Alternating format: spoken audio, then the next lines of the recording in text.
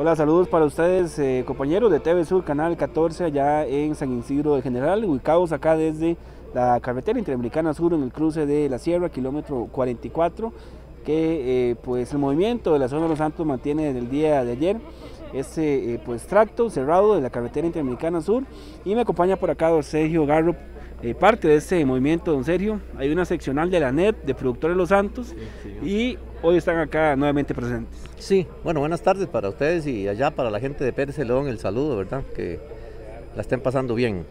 Bueno, yo quisiera como un poquitito, hacer un poquito de historia por qué nació ese grupo de la Zona Los Santos. Nosotros preocupados por la producción, más que todo aquí donde nosotros se enfoca en la producción de café.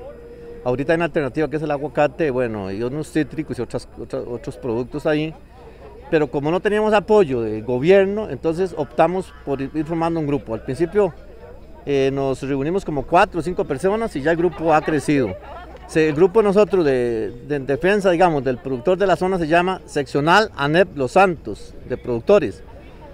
¿Por qué ah, afiliados a la ANEP? Porque nosotros ocupábamos estar aliados a un músculo fuerte como el ANEP, no para que la NED se hiciera más fuerte, sino para nosotros tener ese apoyo.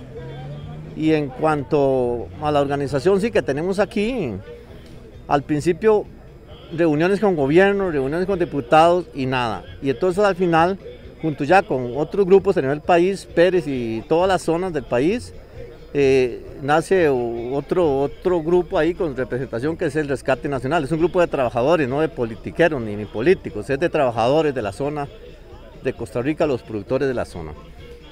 Al no encontrar ese apoyo del gobierno, no nos, tiró más, no nos quedó más que tirarnos a la calle. O sea, no hay otra opción, no hay otra opción. importante, eh, pues continúa el paso cerrado hoy. ayer abrieron a las 8 de la noche, no sé, ya hoy tomaron una decisión. Y mañana a las 5 de la mañana estarán nuevamente por acá. Mañana, si Dios quiere, a las 5. Yo sí quisiera pedirle a la gente de Pérez Celón que si no tuvieran que salir a casos urgentes, que no salgan que no sacan porque va a estar cerrado. Solamente se está, se está permitiendo el paso ambulancias, bomberos, eh, personas adultas, niños y niñas, personas que vengan a una cita médica, pero con el comprobante. Solamente así se está dejando pasar. Y aquí vamos a estar hasta, hasta que el gobierno quiera. O sea, yo sí quiero pedirles disculpas por las molestias, por los atrasos. O sea, yo sé que no es bonito estar aquí ocho horas eh, en un bus, en un camión, esperando y a veces algo incierto, no se sabe a qué hora se puede abrir. Anoche se abrió a las 8 de la noche, ayer, perdón, ayer sí anoche, se abrió a las 8. Hoy no sabemos, porque eso depende de la gente, de la organización.